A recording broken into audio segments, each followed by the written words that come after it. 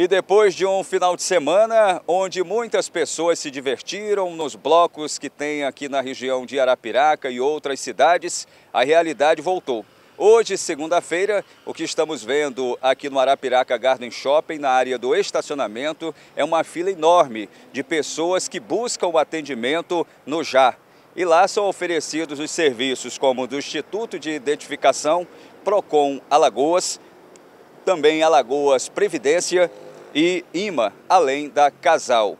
Então as pessoas vêm até aqui buscar esse atendimento, ficam ali no sol, quando o dia é de chuva também ficam nesta dificuldade, a coisa por aqui não está nada fácil. E se complica ainda mais quando a mãe ou até mesmo o pai vem com uma criança de colo, uma gestante, aí não dá para saber de forma alguma quanto tempo vai esperar.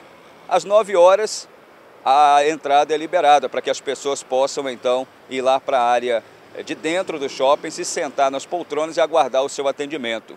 Até quando essas pessoas vão sair dos sítios, de outras cidades para resolver os seus assuntos e passarem por situação difícil como essa?